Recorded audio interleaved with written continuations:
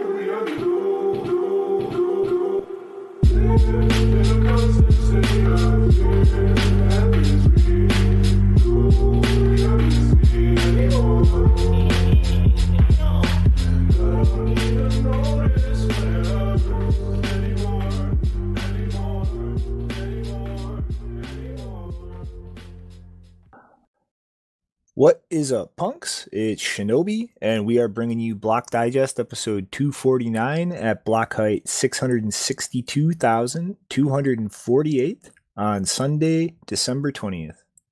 What is up, Janine? Wow, we're gonna get the magic 250 in at the end of the year. Woohoo! Maybe we can make a tweet about it and sell it for Ethereum. Ew, why would we want that? Well, I hear that there are. I don't very, do drugs, Shinobi. I, I hear they're very clueless people that will buy Ethereum for Bitcoin.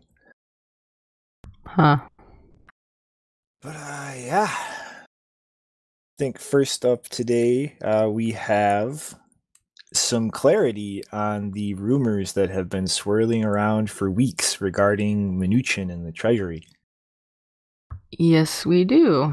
Uh, last month in November, and specifically Block Digest episode 245, we talked about Bitonic, a Bitcoin exchange based in the Netherlands, which was cooperating, although unhappily, with new screening requirements imposed by the Dutch Central Bank, DNB, under their Sanctions Act, which uh, requires customers to provide additional identifying information regarding addresses that they are withdrawing to, especially if it's a non custodial wallet. Um, and this uh, practice is known as KYCC, Know Your Customer's Customer, because the address they could be withdrawing to may be theirs, it may be someone else's. Either way, apparently the authorities want to know.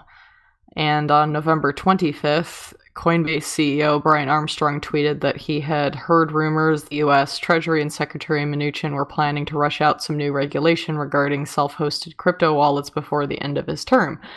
And I should note that uh, in this topic, this language that's used, uh, unhosted, self hosted, are used interchangeably. I really hate these words. I'm going to read them anyway because they're in the things I'm quoting from but I think that they're highly inaccurate because, I mean, you, what is unhosted wallet? Uh, you, what does it mean to host? Like, usually hosted means, you know, it sounds like a hot wallet to me, like to use the word hosted. So saying a self hosted wallet, that sounds like you're, I don't know, you're running your own hot wallet infrastructure or something. So I hate these words and they don't make sense. Um, basically, what they're talking about is non custodial wallets. There's no need to reinvent words so you can stick your authoritarian stamp on the space or anything, people. Just use the words that, you know, actually make sense. But anyway, on uh, December 17th, the block reported that the U.S. Treasury uh, was on the cusp of putting forward a new transaction reporting rule for money services businesses, M- MSBs, that interact with self hosted crypto wallets. Uh, it could take the form of a notice of proposed rulemaking or interim final rule.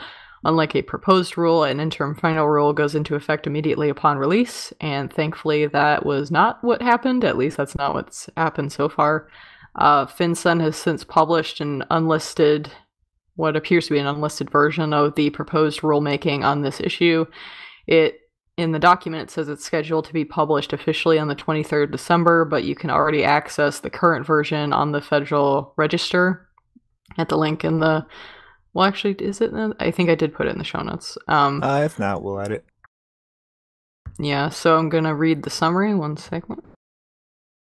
So the summary in the proposal says FinCEN is issuing this notice of proposed rulemaking to seek public comments on a proposal to require banks and money services businesses to submit reports, keep records, and verify the identity of customers in relation to transactions involving convertible virtual currency or CVC, um, which is a bit confusing because isn't CVC the abbreviation for that you know little secret number on the back of your your debit card that you're these people are so dumb like What's seriously. the, um what what does it mean in this context again though? Um convertible convertible vir- virtual currency. Yeah. yeah. So i don't know. They were very stupid choosing that acronym because that makes me think of the secret number on the back of your debit card that you're not supposed to share. Anyway people bad with words. Moving on um, or digital assets with legal tender status, uh, which they call legal tender legal tender digital assets or LTDA. Oh God, they're just making they're just making up terms and acronyms as they go along.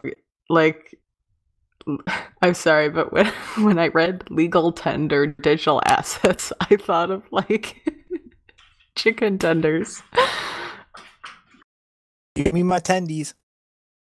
Someone's gonna digitize uh, chicken tenders. Anyway, held in unhosted. Oh, here we go. Lots of uh, made up words. Held in unhosted wallets as defined below, or held in wallets hosted in a jurisdiction identified by FinCEN. Okay, so wait. The whole hosted thing has to do with. Again, this makes no sense. The the ho- hosted versus unhosted. Like, if hosting has to do with where the private key like who controls the private keys then you how do you have an unhosted wallet like the wallet keys are somewhere i don't understand anyway um hosted in jurisdiction identified by FinCEN. FinCEN is proposing to adopt these requirements pursuant to the Bank Secrecy Act, BSA, otherwise known as, uh, well, the travel rule and everything is the Patriot Act of money, basically. To effectuate certain uh, wait to effectuate certain of these proposed requirements FinCEN proposes to prescribe by regulation that cvc and ltda are monetary instruments for purposes of the bsa however FinCEN is not proposing to modify the regulatory definition of monetary instruments or otherwise alter existing bsa regulatory requirements applicable to monetary instruments in FinCEN's regulations, including the existing currency transaction reporting (CTR) requirement and the existing transportation of currency or monetary instruments reporting requirement. That was quite long, but here is a more down to earth uh, summary and analysis of the proposal from Coin Center, where they say the proposal announced today is that transactions from regulated exchanges to individual wallets, um, not subject to regulation as well as unregulated foreign exchanges should be subject to an existing automatic reporting requirement, currency transaction reports, CTR, for cash transactions. Make no mistake, CTRs are a form of warrantless search and seizure of private financial records. Fifty years ago, the Supreme Court narrowly upheld the constitutionality of these reporting requirements, arguing that Americans lose their right to a warrant uh, with individual suspicion when they um, hand their private information over to third parties. We've written extensively why the continued constitutionality of these policies is in doubt. Um, side note here, this is known as the third party doctrine, which is something that the EFF has also been fighting in relation to payment apps lately. Um, it basically says that you, it's like this, it's it's not like an official standard, but it's just like part of statute that's built up that the assumption is that if you give information to a third party, including, you know, Google or Facebook or whatever, you are basically surrendering your expectation of privacy. You have no, you have very little or reduced uh, expectation of privacy when you give your information to third parties, which means that the government has the right to then request it from those third parties, which are often businesses. Um, and yeah, so that's that.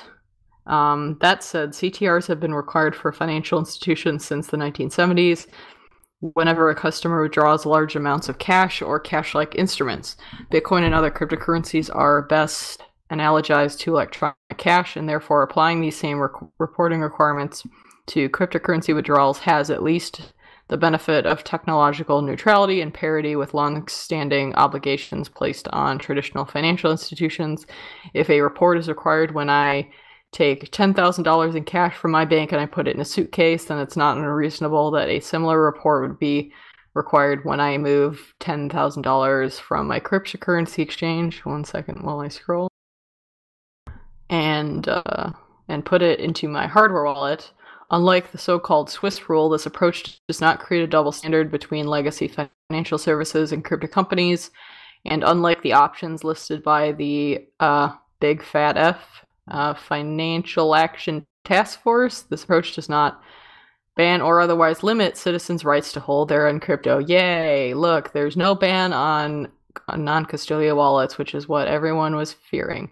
No, this is kind of what everyone was expecting. Like, if you use an exchange, if you use a custodial wallet and you want to move out of it, guess what? They are going to try and trap you.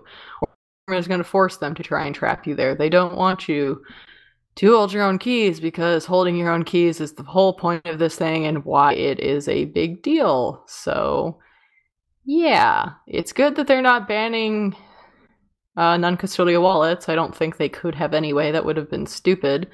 But, um, yeah, uh, this is what happens. Like, if you, uh, if you give your privacy and private keys over to a company, don't be surprised when they try and keep you there and try to learn more about you when you try to leave.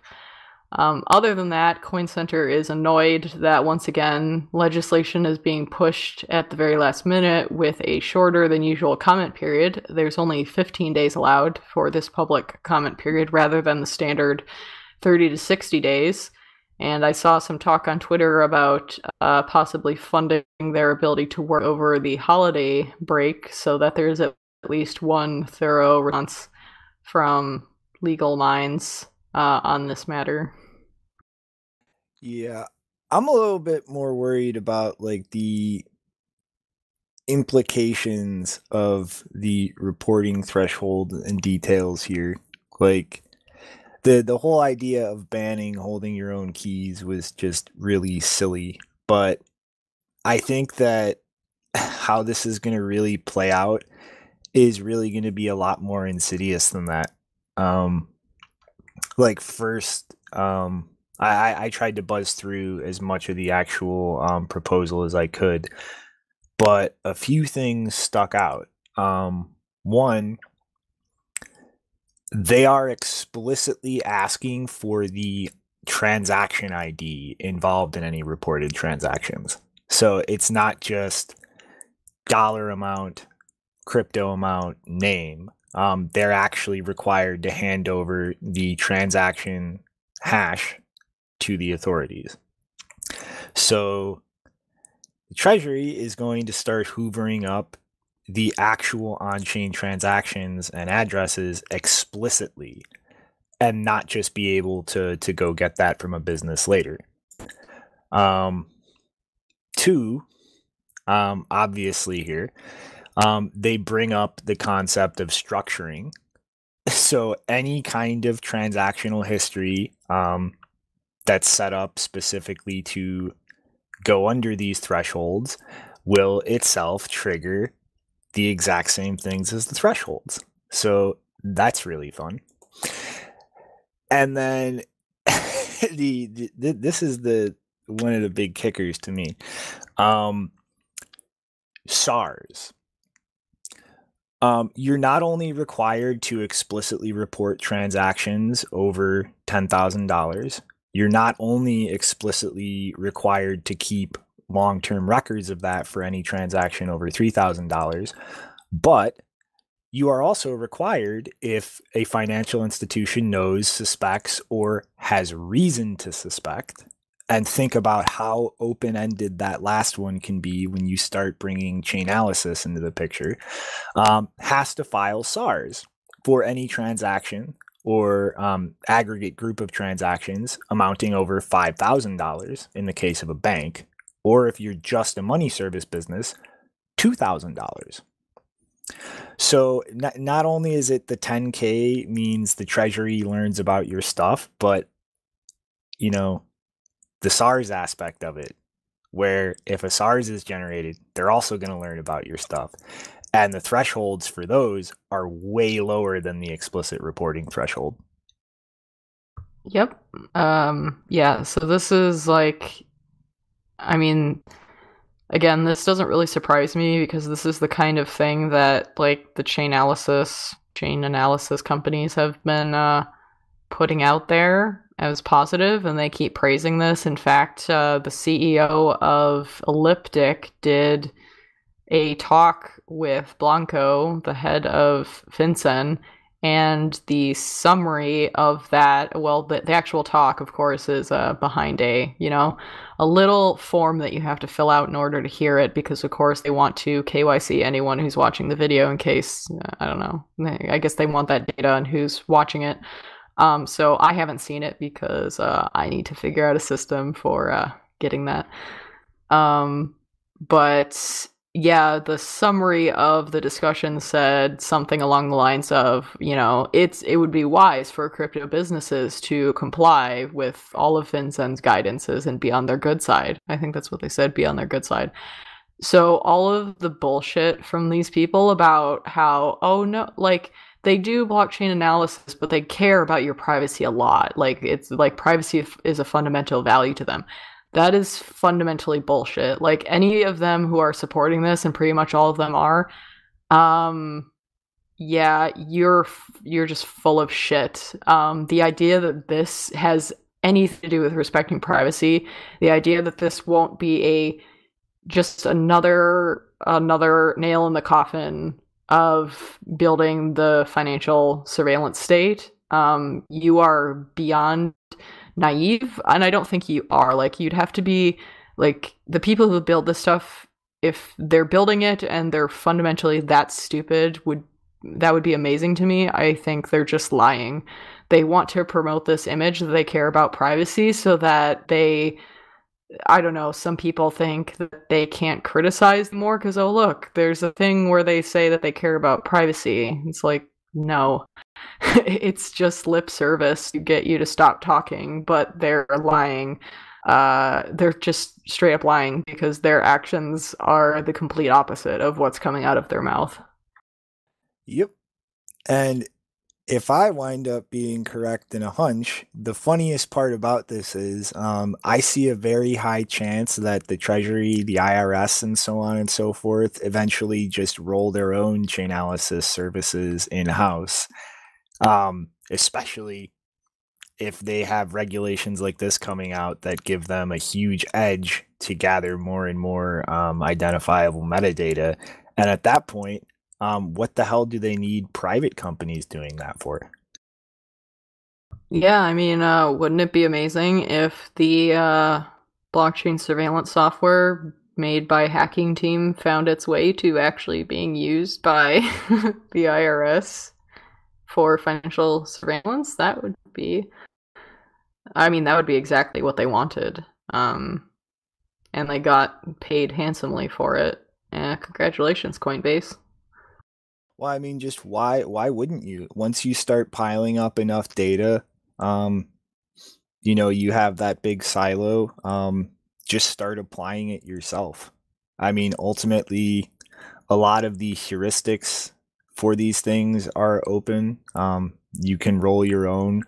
Um, honestly, there's probably a massive amount of room for chain analytics to just become more accurate because of how naive and stupidly a lot of these companies apply things. So it's just like that seems like the obvious end game move to me.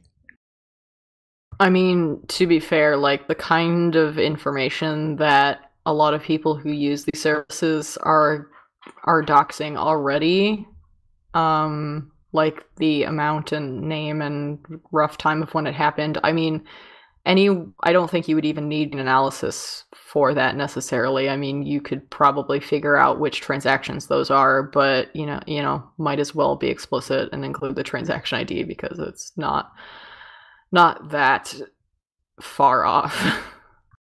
mm-hmm. Like th- th- this was something I got a little worried about like a year or two ago just thinking about that like if people are buying and selling bitcoin and that purchase or sale on an exchange happens in a very close tight window with when it leaves or enters the exchange on chain then it's like yeah i can find that. I mean how many transactions with that value were there in that block or that small set of blocks not very many. But yeah, um, the surveillance state is coming. Yeah, and it's. I mean, I mean, there's literally there's no limit on what could apply below this threshold because you know they claim to have this threshold, but obviously the threshold is pretty much worthless when they can say, oh, well, we think that what you're doing is purposely making your transactions smaller. And it's like, okay, they can just, they can pull that out of their ass whenever they want to. So this is going to be, you know, hanging over everyone's head, not just people who make large transaction amounts. Oh, yeah. I almost completely forgot about this. Um, the one last thing I saw before I passed out and stopped reading last night. Um, they are in a roundabout way um, kind of caving a little bit on acknowledging that bitcoin is money or a monetary instrument um, rather than whichever random thing different regulatory bodies call it. Um, and they're doing this specifically to put it under the secretary of the treasury's arbitrary authority to just define whatever limits or thresholds he wants because he is allowed to do that with money or monetary instruments.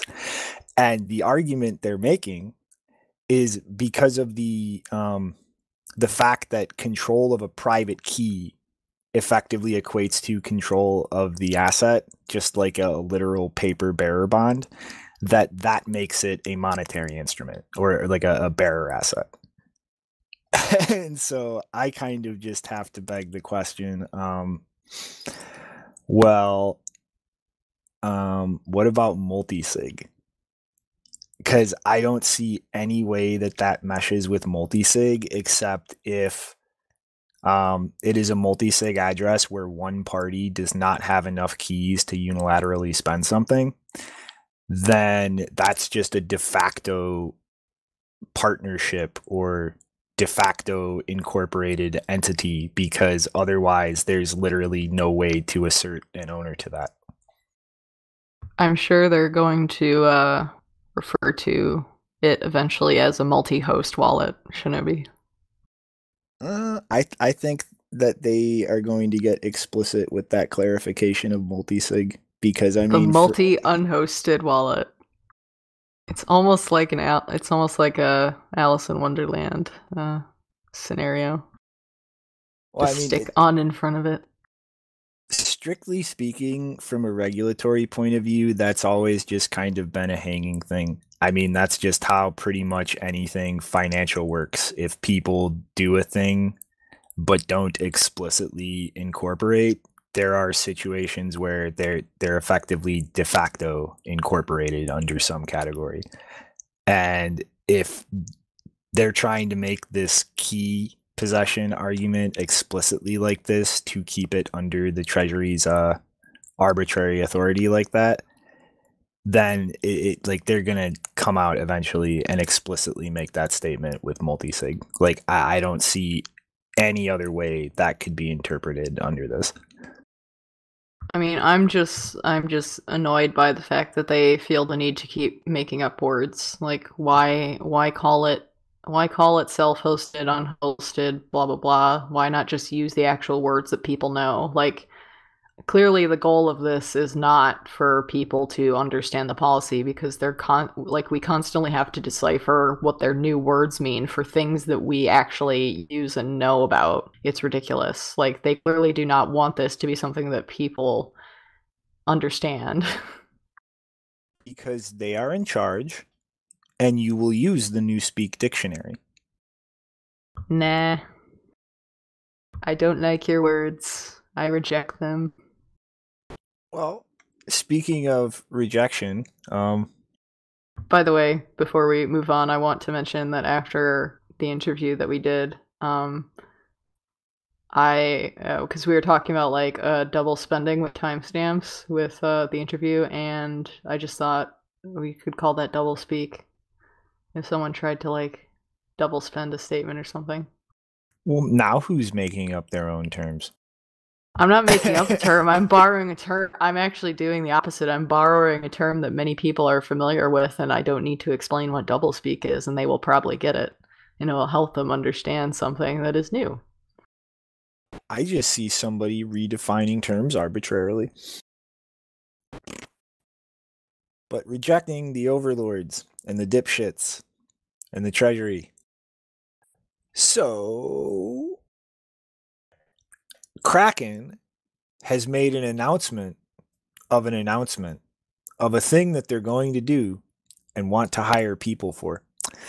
Um, so they, they are officially um, publicly committing themselves to in 2021 um, hiring a team specifically to focus on lightning network and uh, lightning integration and are shooting to have deposits and withdrawals available on lightning um, sometime in the first half of 2021 but the thing I do want to point out here is they don't even have developers yet. Um, when when I saw this this announcement, I saw a giant wave of people on Twitter like patting Kraken on the back for like finally doing this. You know, something people there have promised uh, for a while now, and awesome, awesome. Um, but literally none of the pieces are on the board to actually deploy this yet. They they don't even have Lightning um, competent devs to start working on an integration. So, um, as awesome as it is that they're kind of committing themselves to this, um, there's kind of that underlying problem there, and I'm betting that this is going to become a big issue in general for a lot of larger exchanges. Um, when they eventually get around to accepting that they should integrate Lightning. And uh, yeah, that's kind of a um, a bad dynamic in terms of businesses um, and the resources they have available to do something that their customers want. Because frankly, given the uh, regulations um, that we just went through that FinCEN's proposing, there is really no way around um, that becoming a massive global systemic risk to privacy on the network unless people start using Lightning. Like, you can't just report a transaction ID over the Lightning network. You, you can point where you sent it, how much it was. This does not inherently dox your UTXOs this does not inherently give the treasury the ability to track you in perpetuity from that point. And just looking at things like rendezvous routing, where the sender and receiver literally um, just meet in the middle, so don't have to learn IP addresses, um, UTXOs involved in their channels um, through means of deduction. And um, yeah, that's really the only way I see to mitigate this kind of, of demand for information without just creating an escalating um, you know shit show of people trying to get around things and then stricter regulations happening um, which is pretty much how that would go with anything on chain um, but if you normalize and build out lightning support everywhere um, that's just kind of how it works and, and there's like it, it is a much more complicated space of trying to play that game of cat and mouse and come out gleaning more information than it is on chain. So, yeah. that is really important for these businesses to start supporting protocols like that and it's probably going to start becoming a bigger and bigger problem of who is capable of actually doing that integration um, and where are they? Are they going to work on integrations for companies like that? Can these companies find those people? Um, that's going to be an issue. Just watch a customer who withdrawals or uh, deposits from a light from the Lightning Network is going to be accused of structuring. Why are you using microtransactions? You're clearly structuring. That is a hilarious can of worms that will open eventually. DOS the Treasury. Yeah. Alrighty. So, ever wonder um, what it would be like if somebody made their own closed private Lightning network? Uh, not really. Well, we're gonna find out anyway. Um, and this is actually um, some old news from last month around this time in November. Actually, I just did not notice this, um, and uh, popped up in the most recent version of uh, Lightning Labs um, Lightning newsletter. But um, the um, LN Markets, a derivatives exchange built on top of the Lightning Network, um, has built what they are calling LNClear, and the entire thing is pretty much a uh, a private Lightning network uh, with KYC peers specifically to handle um, settlement of over the counter derivatives products. And kind of the entire rationale here is um, just market dynamics. Um, when, when you're looking at the conventional legacy system, um, you know the the three core aspects of a an exchange happening: the custody of what's being traded, um, the price discovery or you know order book operation, and the actual clearing and settling of things. Um, these are usually different entities um, doing all of this. And in this space, it's it's generally all the exchanges are doing all the things, um, settling things, custodying what's going on, and operating the order book.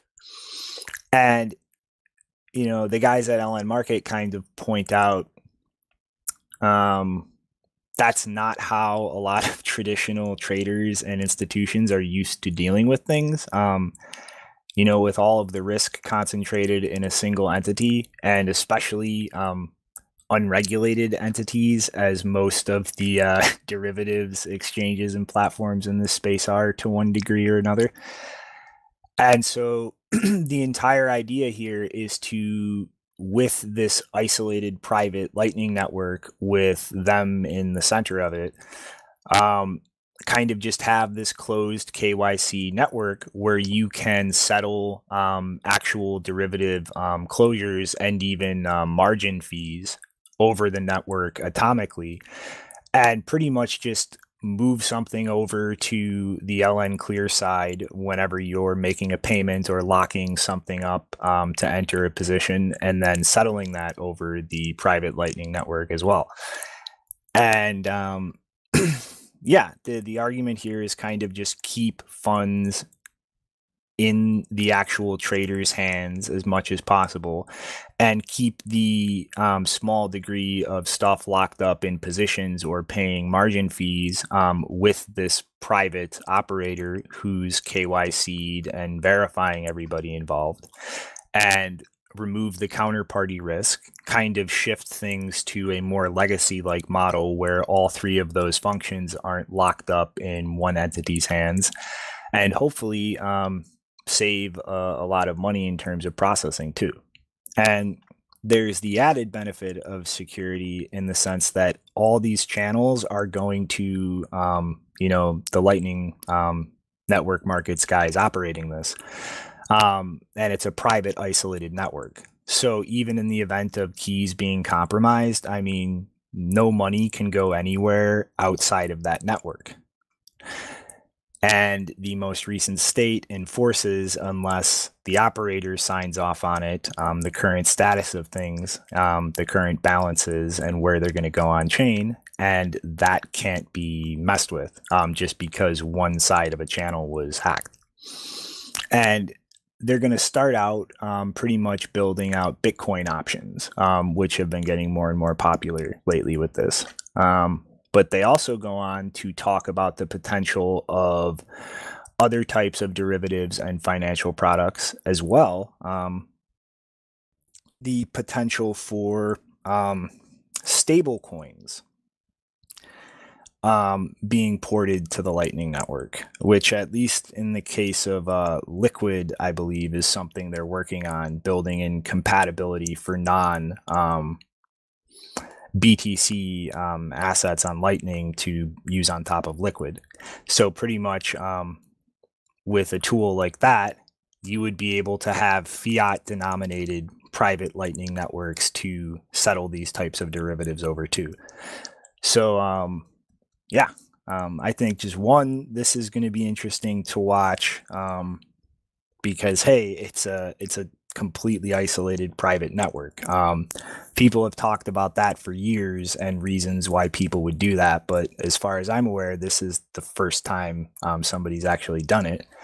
And two, um, I think how this works and scales is going to show really how much volume you can have processed over payment channels um, in terms of actual trading before you start seeing the how far you can push things without running into liquidity problems and reorganizing channel balances, having enough balance to actually settle a position with a trader, and so on and so forth. So, this is uh, probably something I'm going to keep an eye on and might bring up again on the show sometime if something happens. Mm-hmm. So, Janine, why does Mozilla hate Bitcoin? Well, that is a complicated question, but one of the many unfortunate side effects of Firefox being funded by Google in an effort to pretend that there isn't a browser monopoly is that Firefox uses Google Safe Browsing, which is a default feature that is supposed to warn you if you're visiting a quote unsafe or malicious site. Lately, though, this is why people visiting BTCPay servers, even private ones, have been getting a bright red warning screen that claims that they are uh, visiting a deceptive site. Even Nicolas Dorier's own blog was uh, blocked with this, and it's happened regardless of domain or host. So uh, I don't know if they ever figured out what the reason was or what caused this, but on December 18th, the BTCPay server team tweeted, Please Firefox stop using Google Safe Browsing. It is producing tons of false positives, impacting arbitrarily the businesses of people. Um, and it sounds like in maybe some instances that this has been since fixed, according to Nick Herbert of uh, Foundation Devices. He said that it was being fixed by Google, but um, I haven't checked whether any of the sites that were showing this screen have uh, been restored. But yeah, it's a stupid feature um, that, for the most part, I don't think actually works very well, even for actual malicious sites. Um, so someone most likely has been reporting something to do with BTCPay server to the safe browsing uh, infrastructure that is now going out across all, you know, instances of Firefox. And yeah, if you want to disable Google Safe Browsing, there is a link with instructions on how to do that in the show notes from someone who also complained separately about using Google Safe Browsing and hating it and wanting to turn it off. In before deactivate it and the NSA steals your Bitcoin. Yep. Yeah, it's just a interesting example of the um, subtle ways all over how the internet works that uh, you can just add scary friction and uncertainty as far as normies doing Bitcoin things. Yep. You'd think, though, that your browser would be smart enough to figure out that if you're visiting your own server, it wouldn't block you. Well, I guess not. Yep. So, are we ready for some lulls? Are they unsafe lulls? You can now pay for Pornhub Premium with 13 different cryptocurrencies. As of last week, with MasterCard and Visa severing all ties with uh, Pornhub, you can now pay for your pornography with Bitcoin, Bitcoin Cash, Dash, Ethereum, Ethereum Classic, Litecoin, Monero, Nem, Tether, Tron, Verge, Waves, and Zcash. But unfortunately, we are unable to accept credit cards at this moment. Wait, no SpankChain? I completely forgot that even existed. Where, where's the love for SpankChain here? That's an obvious miss.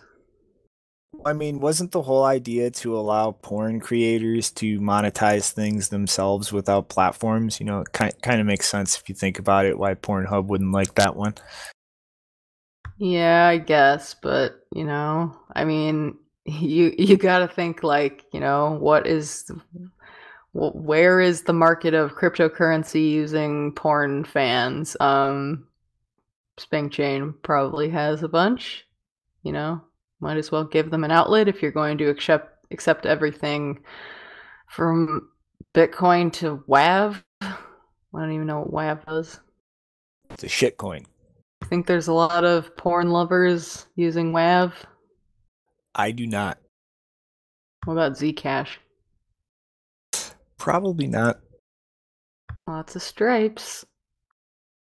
It's actually, I, from my understanding, a decent amount of um, adult entertainers that are starting to just accept Bitcoin payments um, with their own setups. I think there's even a few out there using BTCPay. Yeah, I mean, if anything, I would say Pornhub is a bit late to the game. I'd say a, a little bit more than a bit.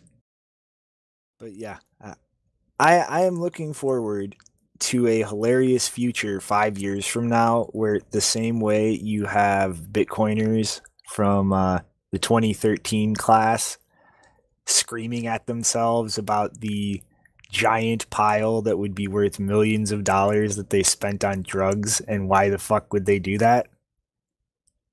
I predict at least a small class of 2020 or 2020ers or whatever Bitcoiners from the class of 2020 to have a similar reaction four or five years from now, thinking about how much money they spent on porn.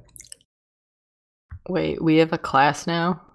We have a class system? Yeah, it's like high school. Come on, like the year you showed up. Ew. You've never heard Bitcoiners refer to like when they arrived in those terms?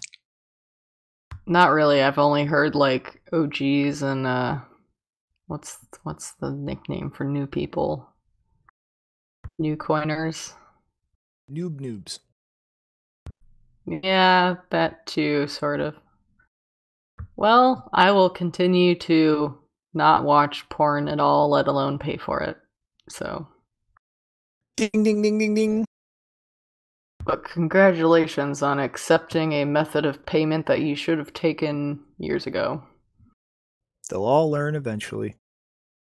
So, trauma update from the East. Hmm.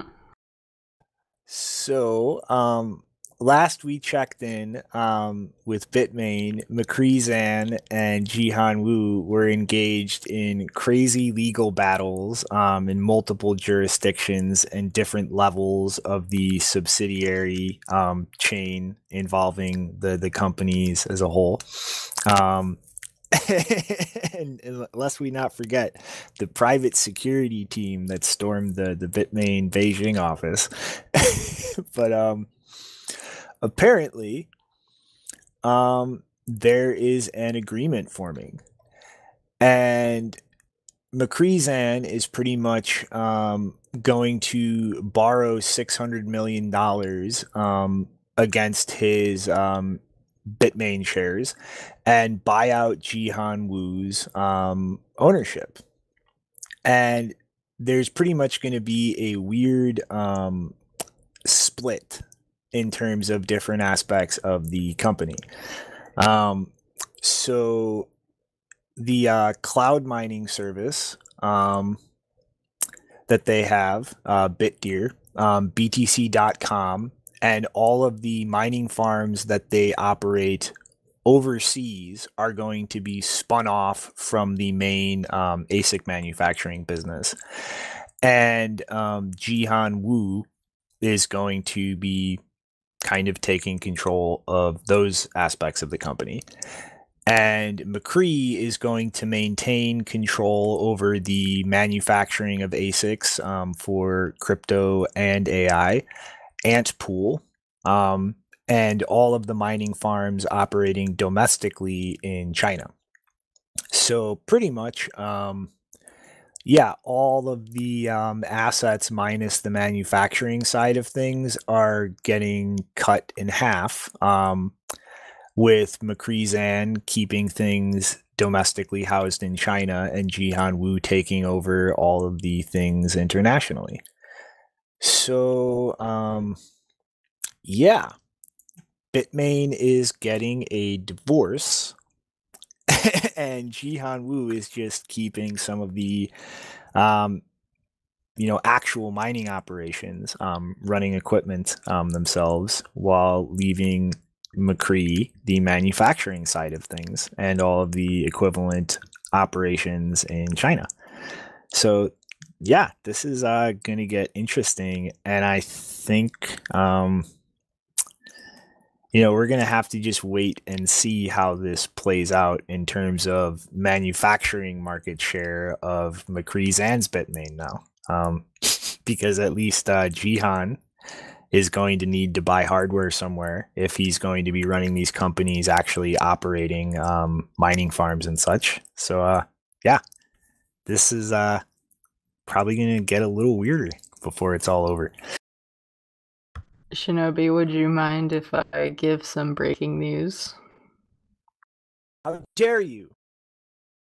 So, someone on Twitter named Jimmy McShill, great name. Uh, I don't know, not familiar with this account at all, but it's now being shared by a bunch of other people who I do know, so might as well point it out. There is a tweet from Jimmy McShill saying that um, someone has claimed to have dumped the whole uh, ledger uh, data breach records onto RaidForums, which I am not familiar with, but it says today I've uploaded the ledger.com database for you to download for free. Um, the leak contains two text files uh, 1 million emails subscribed to the newsletter, 272,000 orders with full info details, email addresses, uh, email addresses, phone number. Um, yeah, so just for anyone who might go out looking for this, I mean, you might be really curious to be able to verify it, but you should obviously not just download uh, files from strangers on the internet.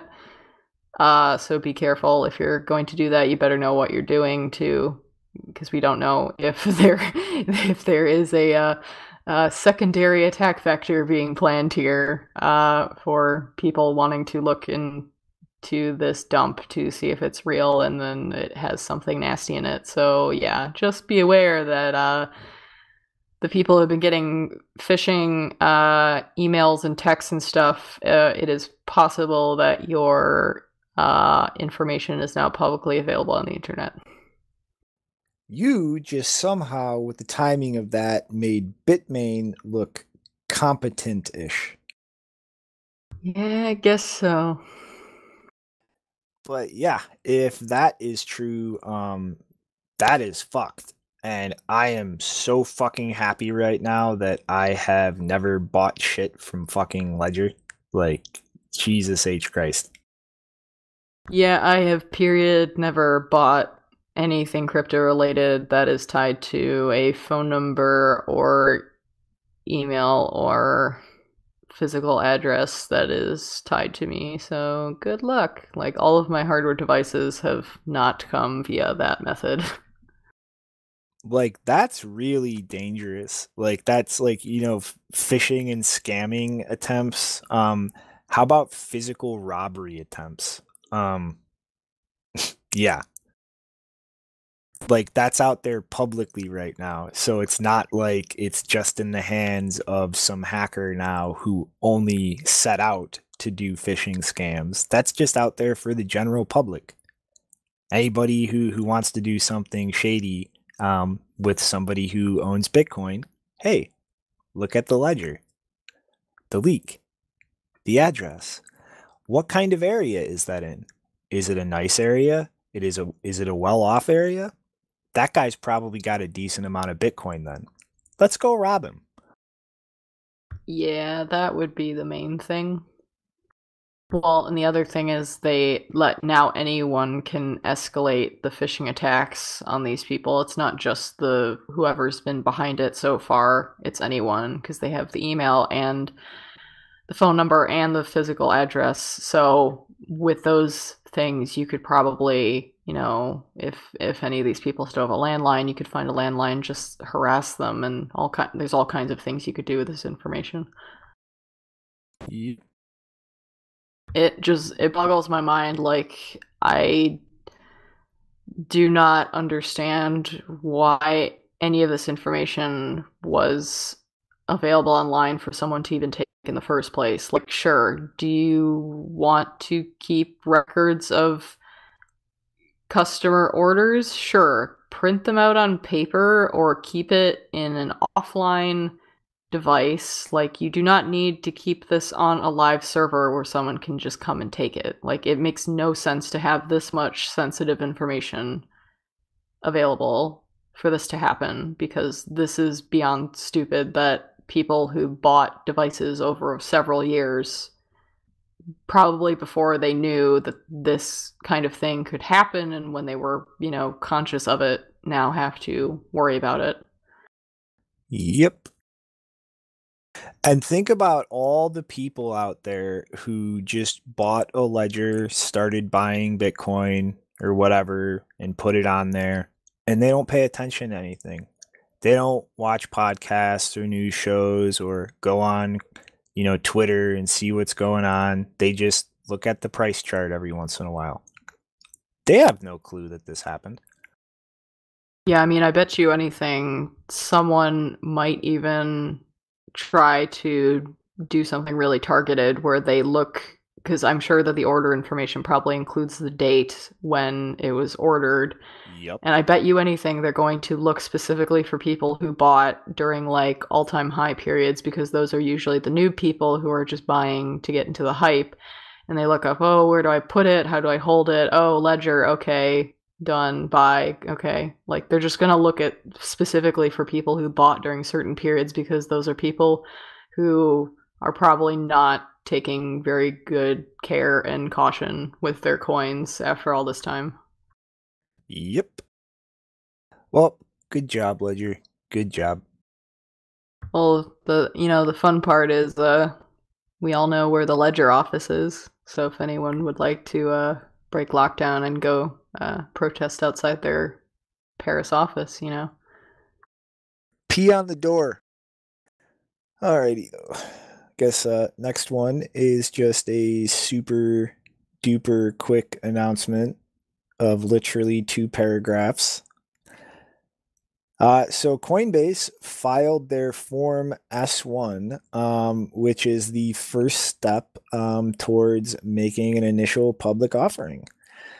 Um, yeah, so nothing approved, nothing really rolling in terms of that starting, and um, as the entirety of the second paragraph of the announcement says, this does not constitute an offer to sell or solicit or an offer to buy any securities. Any offers, solicitations, or offers to buy or any sales of securities will be made in accordance with the registration requirements of the Securities Act of 1933.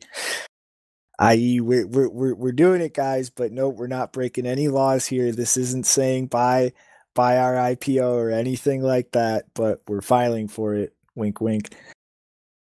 Yeah, I'm sure it has nothing to do with uh, the Bitcoin price. By the way, I think it's gone over 24,000 and under 24,000 just now. Indeed, it has. I'm sure that has nothing to do with why they want to IPO. Oh, nothing at all. Nothing at all. I'm sure that they're not going to try to conflate, you know, the the rising price of Bitcoin with uh, the rising price of their company, which is conveniently named after a part of the Bitcoin system. I don't, I just don't know whether uh, I am more irritated at the fact that this happening is going to put a fuck ton of more money in Coinbase's hands um, to just be douchebags with, or delude myself and be hopeful that going public might actually lead to them doing less stupid things because people want to make money. But I don't know if I can delude myself that much. All right. Silence. What is your announcement, J9? Well, it's not really an announcement. Um, it's just a reminder that I'm giving a. Well, this kind of should have maybe gone at the end as a final thought, but I'll say it now anyway.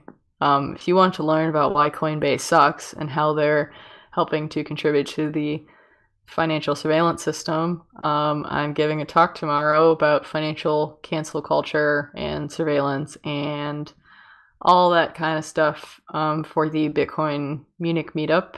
And you will be able to attend remotely over Jitsi, not Zoom. Fuck Zoom. Never doing that again. The CCP malware. But yes, punks, go watch that. Go learn things. Go yell at people to stop doing dumb shit like that. What do you think, Shinobi? Should I uh, raffle off a, a ticket to CCC to get people to come? Why not? I don't know. I feel like I might get in trouble for that. Do it anyway and beg for forgiveness. but what other development news do we have? So, Andrew Chow is proposing a update um, that would create a new version of PSBTs that would not be backwards compatible. Um, and pretty much um, the the big changes here are mostly just locking in in the metadata fields um, of the PSBT uh, a lot more input and output related data. And um, would remove a current field in a PSBT version 0 that is pretty much just the actual transaction itself um, raw. And pretty much um, you know the the idea here is to just have a lot more um, solid um, metadata commitments to things like the values, the index numbers, the transaction IDs, um, the sequence numbers, and lock times of things. Um, so that different uh, software or devices and so on handling things could coordinate um, and kind of safety check things a little more simply. And at the end of the day, if this were to be implemented, it would always be possible to just take um, this new version of PSBT when supporting tools are done handling it and kind of just downgrade it um, to the original version zero if any software or tool um, that didn't support the new version had to interact with everything. But one little neat thing in here is a global field that would um, kind of allow preferred um, lock times for a transaction to be set um, for everybody to coordinate around and um, fill in the appropriate nLockTime value. And also sequence number and nLockTime requirements for inputs um, so that tools could um, kind of just quickly look at what lock times um, everybody signing or who proposed something to sign wanted to lock things to.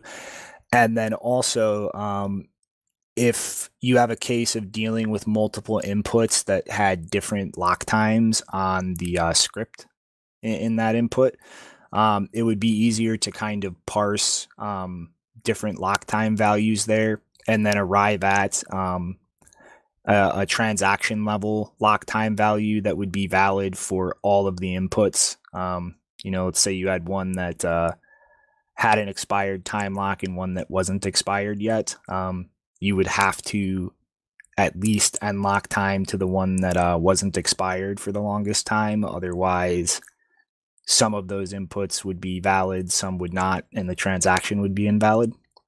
But um, little little proposal tweak for PSBT, and uh, hopefully it happens. Alrighty. And what is last? An OXT um, report analyzing the flow of a thousand bitcoins stolen from the Singapore exchange KuCoin. And I need a second here because honestly, um, aside from one aspect of this report, I feel like I'm just reading the same report um, over again for the third time. So pretty much um, back in September, um, the stolen coins were broken up and some were filtered through a centralized um, mixing service called ChipMixer. And a smaller section, or no, no, vice versa. Um, the uh, the larger section of coins was sent and mixed through Wasabi. So the the TLDR, just looking at what they broke down in public, um, because as you should know, I am not going to pay money for a report that uh, you know I can just look at in two weeks and probably verify everything I'm saying now for free. Um, pretty much those coins mixing through Wasabi, um, the total amount was only partially mixed, and the unmixed change output um, that kind of pulled out without mixing from that transaction cluster um, was a relatively large chunk of what was mixing through Wasabi. And as usual with these reports, um, almost every time so far, the person who stole these coins um, took outputs from the centralized ChipMixer and outputs from the mixed um, wasabi output set as well as the unmixed change and started condensing things post mix um, with a pretty large amount of coins that de-anonymized and rendered useless the mixing they had done. And I mean, I, I I am just kind of getting really sick of these reports um, that are able to de-anonymize stolen coins um, pretty much every single time solely because the person mixing doesn't know what they're doing and fucks up. And almost always with a very large amount of money that already is difficult to mix using mixing tools um, because it is just a larger pool of money than the usual volume of most mixing tools. So, yeah, no shit. Um, you were able to de anonymize and correlate this stuff because the person trying to mix coins fucked it up themselves. But the one interesting thing in all of this is the existence of a centralized mixer that is kind of piggybacking on top of Wasabi, um, a mixer blender. Um, and a, a, decent amount of the um, mixed outputs um, that we're cycling through Wasabi were actually um, this centralized mixer blender um, that was kind of doing an interesting thing here where um, mixing through wasabi um, they were able to kind of funnel coins and um, pay um, pretty much pay out from the centralized mixer um, before actually receiving inflows from wasabi. And so i think probably what's going on there is using some of their own capital um, to kind of be mixing things um, to obscure the in and out flows from the centralized mixers so that that doesn't um, correlate properly in terms of timing. Um, but Samourai was able to kind of um, suss this out given the fact that, again, the thieves um, kind of blew their own shit up and started condensing things post mix. Um, so, yeah. Really, at the end of the day, um, if people are going to steal large amounts of bitcoins and try to launder them, um, they should start actually learning how privacy on a blockchain works. Because every instance of large hacks like this making attempts to mix funds always unravel because after mixing um, and doing idiotic things during mixing, they undermine all of that just condensing coins again.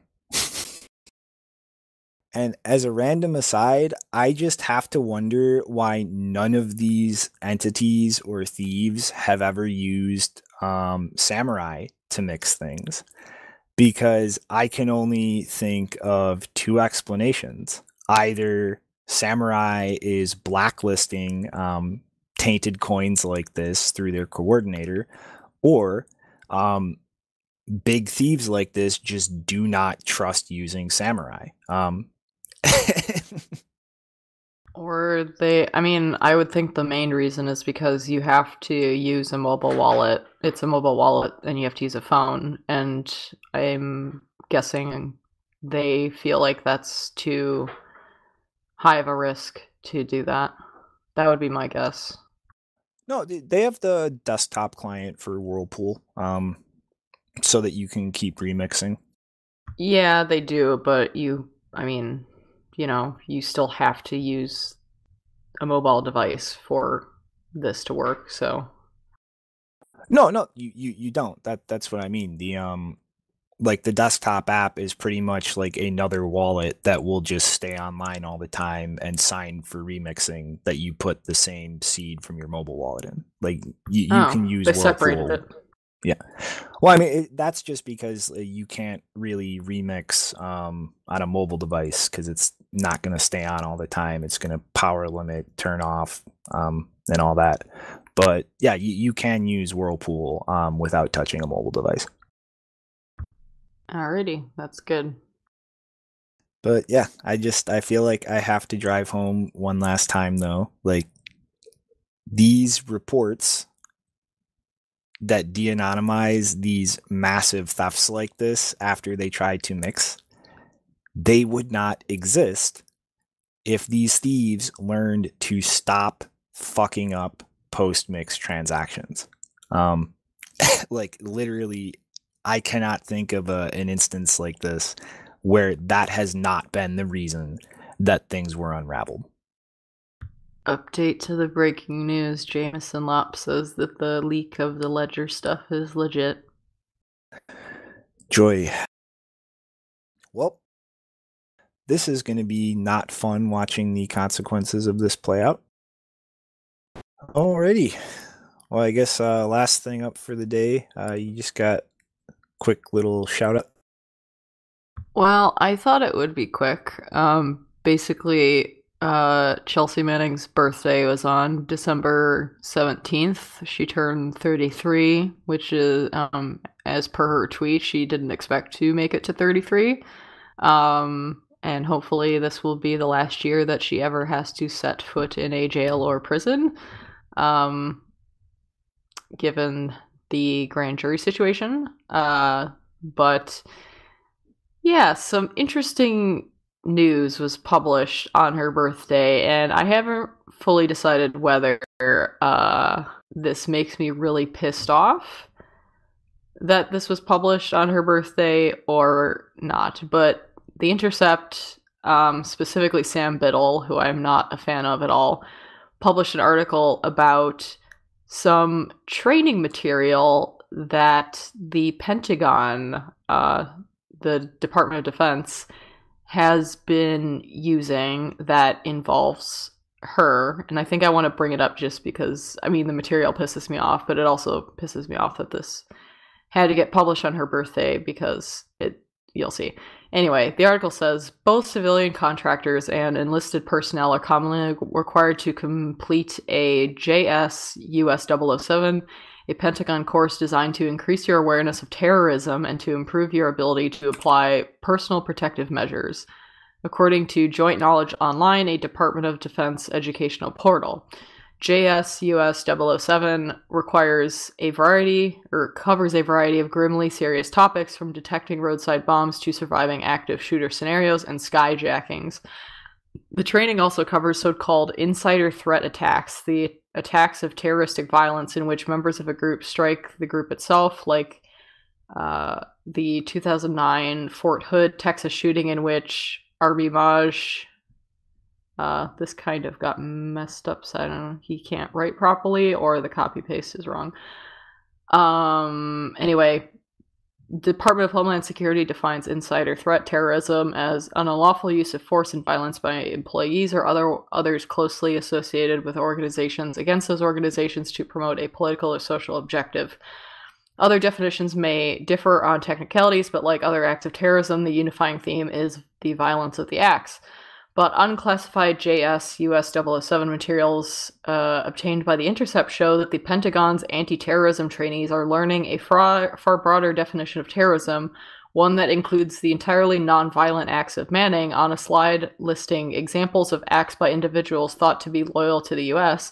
Manning's 2010 leak of over 500,000 documents concerning operations in Iraq and Afghanistan is listed first, followed by three examples of murder the 2009 active shooter attack at Fort Hood, the 2003 active shooter attack at Camp Pennsylvania, and the 2001 anthrax attacks against government facilities that closely followed the attacks of September 11th.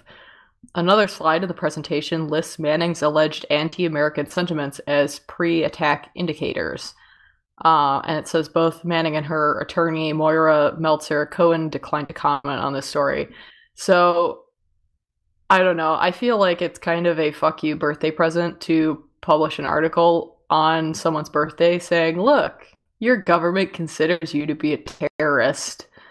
Um so I'm going to leave that aside because I have so many things to say about that. But also, seriously, the US government has literally no grounds on which to make this claim. They first of all, did not even, I don't even think they attempted to charge her with terrorism back in 2013, uh, or and leading up to 2013. And furthermore, in 2013, uh, following the court martial, uh, she was not charged and not found guilty of uh, aiding the enemy. So anyone who's going to claim that she helped terrorists or was helping terrorists. The US government didn't even convict her of that. She was never convicted of that. It was just unauthorized disclosure. So, yeah, this whole idea of, I, I mean, like, every time a whistleblower comes up, they keep saying, you know, use the chain of command, blah, blah, blah that is something that she did. like every single whistleblower, pretty much, that has come forward in the past several years has attempted to contact their chain of command. in fact, the US government lies about the fact that they do this. They they bring they bring this up to imply that they didn't do this when in fact they did. And then if you actually ask these agencies, why didn't you do something about this? What did they tell you? Blah, blah, blah. What they usually say is that I think there was even, uh, I think it was with Thomas Drake, um, or someone worked with Thomas Drake or was uh, a supervisor or something. And he like explicitly said, you know, the kind of stuff that Thomas Drake brought forth like if if that if he heard that he just wouldn't care like it would get reported and he wouldn't even bother to listen. Hey janine. So Go- going to your supervisor is a pre-leak indicator. I mean yeah it basically is um, because a lot of the people who do that who actually follow the supposed guidelines of what you're supposed to do when you're when you're trying to, you know, point out that someone has broken the law, including the agency that you work for. Um, yeah, you basically you basically become the person who has broken the law. That's how you get treated, as if the mere fact of you pointing out that someone has broken the law is a crime. Um, that's basically what happens, and so it just makes me sick that that the US government feels justified in training people working for them to consider one of the most well known whistleblowers who revealed war crimes and, at the very least, the death and murder of two journalists in Baghdad, uh, that she's being considered a terrorist for yep. literally leaking a video that shows the US military acting like a terrorist group, shooting civilians from the sky, giving them no opportunity and at no provocation whatsoever. I mean, that seems to me to be the definition of terrorism is to attack someone who is defenseless and unprovoked. So, I don't know. I guess if the if if your definition of terrorism is so broad to include a whistleblower publishing documents revealing war crimes, I feel like the US government would easily fit into the definition of a terrorist organization. Yep. But they're also conveniently the ones who get to define what a terrorist is. I guess everything is terrorism nowadays. Pretty much. Well, but I just hope that she didn't have to read this on her birthday because seriously, The Intercept, you, given your past with whistleblowers and not protecting their identity, you might want to be a little more sensitive to not ruining someone's good day. You know, I think you've ruined enough of those. Probably more to come. well, want to jump into final thoughts? Um, my final thought is well, I think I've already given them because technically the things I've already talked about were final thoughts. Well, I hope you all got tickets to CCC. If you didn't, you can come to my talk tomorrow, which is basically being given on the same platform.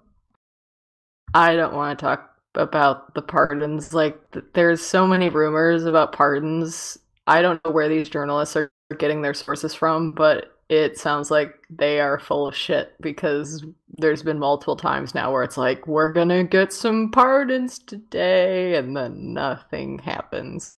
So I don't. I don't. I mean, part of me is like, well, maybe he's now deliberately telling different people different things to figure out who is talking to the press because that's that makes sense given all of these rumors that keep popping up. So maybe he's spreading some false ones on purpose to figure out who's being a naughty boy in the White House. Um, which is funny. It's like last two months of his administration and you're still dealing with uh, leaky mouths, but whatever. Um, I'm not I'm not hinging my bets on any pardons. But I would like to say this. I mean, if if we're going to hedge any bets, um, I would say that Snowden is not going to be on the list. And the reason for that is that the US government broadly, this administration the last one, and previous ones, they seem to have a tendency to only give mercy in the instances where the punishment extrajudicially given has already been merited out. So I wouldn't expect them to pardon a guy who has at least not been to a US prison or been in a prison at all. So the reason that Chelsea Manning got clemency is because the US government and military literally tortured her in other countries and then tortured her in the US. So they kind of made a boo boo that they had to fix. Whereas with Snowden, he got away free. And oh god, do you want to encourage more whistleblowers to leak more amazing documents showing the corrupt nature of the system? Without them getting a little bit of punishment first, I don't think so. So if anyone's making Yes. bets, I would I would say that they are not going to want, want to do that. that.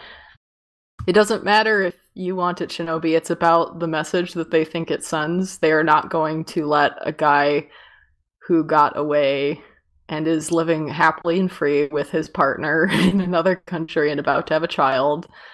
Uh, they're not going to pardon him. They're at the very best, they will only pardon the people who have already been unjustly punished.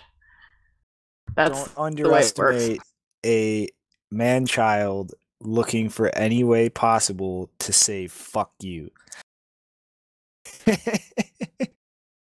but speaking of that, I just accidentally set this up perfectly. Um, for all the Michael Saylor fanboys out there, you know, give, giving him his daily tug job because he bought big stack of Bitcoin.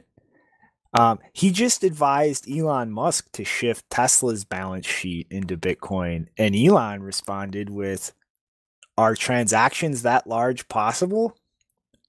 So, fuck your uh, PayPal regulatory cocksucking douchebag Michael Saylor. Watch Elon super Chad shift Tesla and SpaceX and Neuralink and fucking the Boring Company all into Bitcoin reserves and Mega Moon and take everything private and turn into the Bitcoin Lex Luthor motherfucker. That's a fucking Chad Bitcoiner. Boom. He probably totally won't do that though. He's just a super troll. Wasn't Elon Musk one of the founders of PayPal? Yes, he something. was. So I don't know if you can necessarily fuck PayPal through Elon, Elon Musk.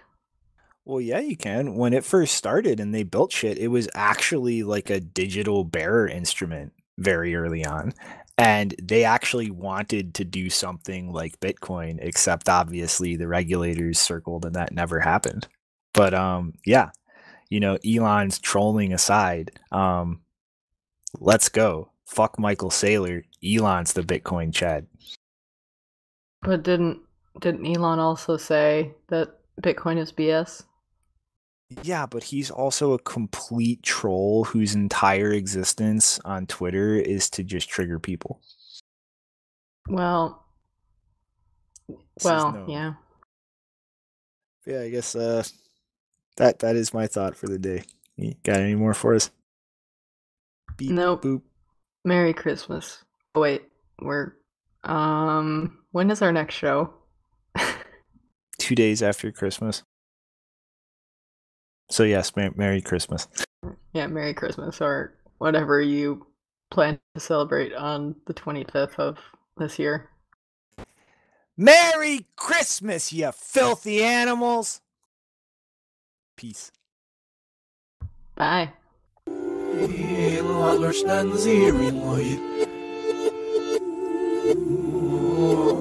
Was nerf, was nerf, dat zijn het zo'n soort.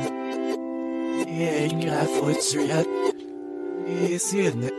Ja, ze is zorg maar jou.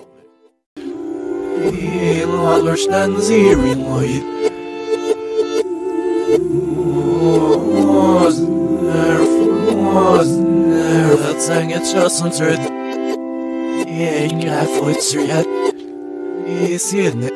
Jasne, idi sorg mor